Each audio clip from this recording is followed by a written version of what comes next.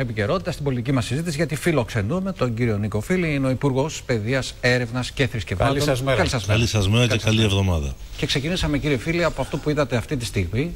Ένας χρόνος βεβαίως ΣΥΡΙΖΑ και ο κόσμος στον δρόμο.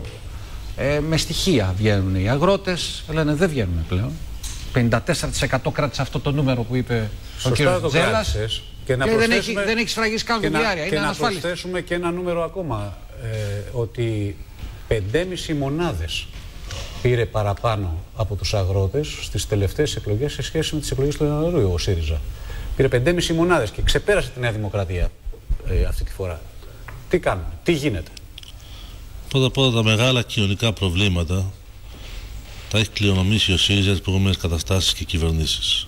Ακούσαμε τους αγρότες που μιλούσαν προηγουμένως και λένε ότι τους χρωστάνε επιδοτήσεις από το 2013 και προβλήματα ε, μιας ολόκληρης δεκαετίας ή και δεκαπενταετίας και κρίση στην αγροτική παραγωγή και έλλειψη αναδιαρθρώσεων και κατασπατάληση κονδυλίων στην Ευρωπαϊκή Ένωση για αλότρια πράγματα και όχι για να υπάρξει αναδιάρθρωση και δυναμική συνεπώς επανεμφάνιση της αγροτικής οικονομίας.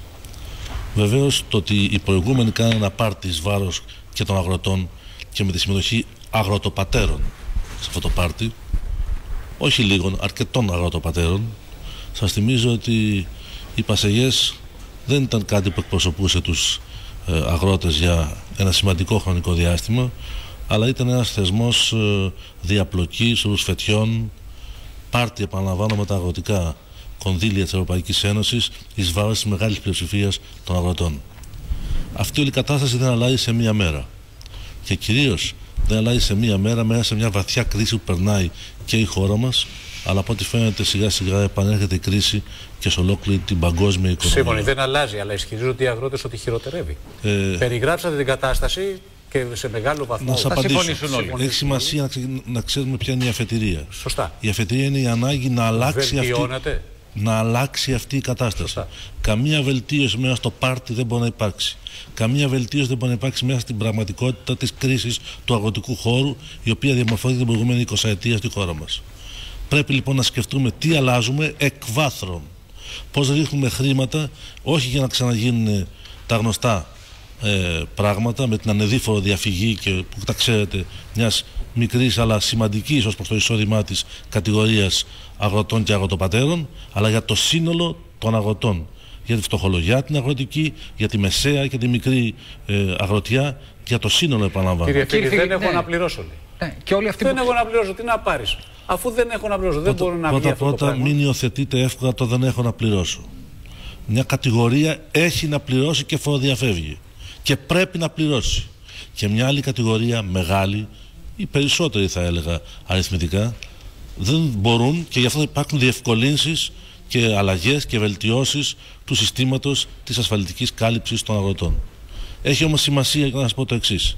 Εάν δεν ληφθούν τώρα μέτρα και δεν σταματήσουν οι επιπτώσεις από το πάρτι υπέρ των αγροτοπατέρων, επαναλαμβάνω, και του διεφθαρμένου πολιτικού συστήματος, θυμάστε πως πως ζυγίζανε πέτρες για να παίρνουν επιδοτήσεις, για να δίνουν επιδοτήσεις στον κόσμο. Θυμάστε τι έγινε με τα μπαμπάκια εδώ; Εντάξει, Τα όλα- ξέρετε όλα αυτά τα πράγματα. κιλά, όλα τα λεφτά ήταν όλα ένα λοιπόν, σύνθημα που Αν δεν ερχόταν αλλάξει τη λέω δεκαετία αυτή του η 80. νοοτροπία και αυτή η κατάσταση και αν δεν υπάρξει μια νέα αφετηρία θα έχουμε κάθε χρόνο όλο και πιο χειρότερη αγροτική κατάσταση. Όλοι, όλοι αυτοί, κύριε φίλοι, με συγχωρείτε πάρα πολύ, είναι αγροτοπατέρες που Όχι. βρίσκονται στο δρόμο. Όχι. Ο Πρωθυπουργός εχθές, ο κύριος Τσίπρας, είπε κάτι το οποίο όλοι θα συμφωνήσουν. Ότι εμείς κοιτάμε τους νέους αγρότες να τους προστατεύσουμε. Μα εδώ βλέπουμε χιλιάδες αγρότες, χιλιάδες τρακτέρ να είναι στους στους δρόμους.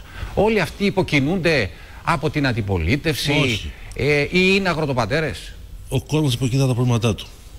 Ο κόσμος υποκινείται τα μεγάλα προβλήματά του. Άρα, λοιπόν, και εσείς στην κατανοείτε ότι υπάρχουν, είναι υπαρκτά αυτά τα Βεβαίως, προβλήματα. Μα αυτά τα συζητάμε κιόλας. Και ο κύριος Πρωθυπουργός θα έχει αύριο συνάντηση με τους αγρότες.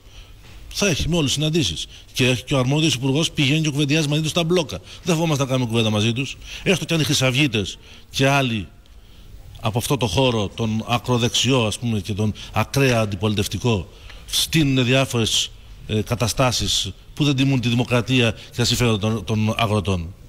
Λέμε, εμείς επιμένουμε στο διάλογο με τους αγρότες. Αλλά, το τονίζω, το πάρτι των αγροτοπατέρων θα τελειώσει. Είναι σαφέ αυτό το πράγμα. Ε, σύμφωνοι, άρα μένει να δούμε τη συνάντηση αν υπάρχουν περιθώρια διορθώσεων, εναλλακτικών προτάσεων στη συνάντηση με τον Πρωθυπουργό. Ίσως ο Πρωθυπουργός φυλάσει ένα χαρτί που θα μπορέσει να αντιστρέψει δεν αυτό το κλίμα. Δεν υπάρχουν κρυφοί άσοι. Υπάρχει, Α, δεν υπάρχει. υπάρχει ειλικρινή συζήτηση. Μάλιστα. Παρουσίαση των προβλημάτων, της απόγνωσης από τη μία πλευρά, των δυνατοτήτων από την άλλη και του ευρωπαϊκού πλαισίου στο οποίο είναι αναγκασμένη να κινηθεί η χώρα για να μην χάσει 20 δισεκατομμύρια ευρώ την επόμενη πενταετία. Προσέξτε, χωρίς τα κοινοτικά κονδύλια την επόμενη πενταετία δεν υπάρχει ζωή στην Ήπεθρο.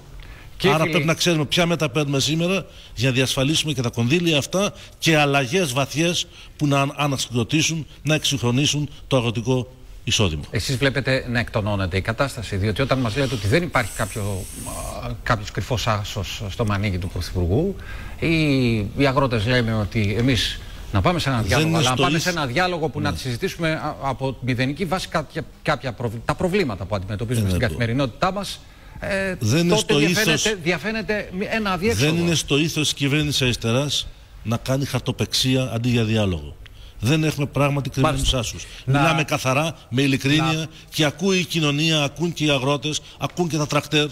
Καμία αντίρρηση. Επαναλαμβάνω, με ειλικρίνεια συζητάμε τα πάντα. Για να δούμε λοιπόν ε, πώς θα